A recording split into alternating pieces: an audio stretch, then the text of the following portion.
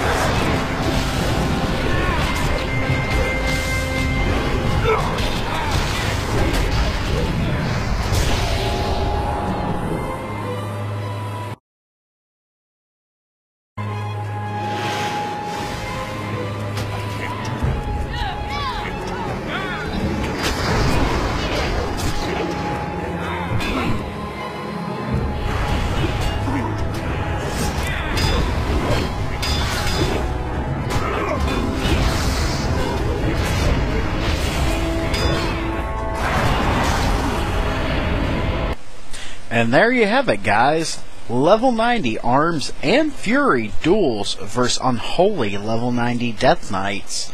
If you like this video a lot, toss me a subscribe. Give me a like and give me a comment if you really feel like it. But of course, stay tuned, there's always more to come.